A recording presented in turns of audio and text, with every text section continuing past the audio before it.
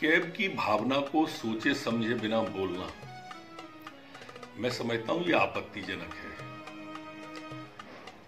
उसकी भावना नागरिकता देने की है नागरिकता समाप्त करने की नहीं कांग्रेस के लोग पूरे देश के अंदर भ्रम फैलाने की कोशिश कर रहे हैं।